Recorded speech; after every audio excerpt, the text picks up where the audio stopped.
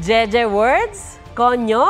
Nakahabol ba kayong maintindihan ang mga lengguaheng yan? Nako, keep up dahil may bago na namang mga kataga ang new gen. Panoorin sa report ni Katrina Son. Teaching my mom Gen Alpha Slash. Skibidi, Mewing, at Sigma.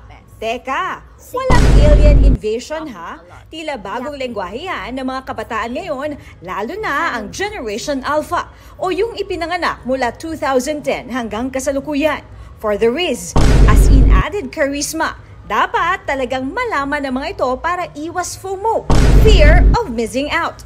Si Jen De Leon na isipang gawa ng video ang mga salitang ginagamit ng siyam na taong gulang na anak at ang katumbas na meaning.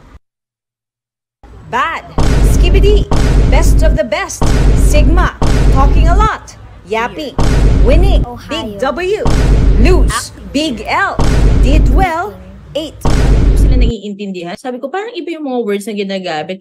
Sinikap daw niyang pag-aralan ng mga salita. Nakikisali ako sa games nila or minsan nakikinood ako sa mga pinapanood nila. Happy and fun. Um, fun. Why? Because now she's trying to learn our language and it's also funny the way she says it. Pero NGL, no cap daw. O not gonna lie, not joking. Pati si Mommy Jenny, Minsay, nalilito na rin, FR.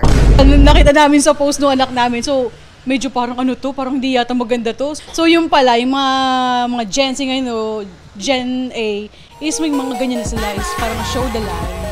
Isa raw sa paboritong gamitin ng kanyang anak ang salitang sus. when my classmates are doing something suspicious. Marami nga mga bagong salita ngayon ang ginagamit ng mga kabataan na karaniwan na hihirapang intindihin ng mga nakakatanda. Ang mga bagong salitang ito tinatawag na socialect. Hindi lang din daw ito nangyayari sa Pilipinas, kundi maging sa ibang bansa. Katrina Son, nagbabalita para sa GMA Integrated News.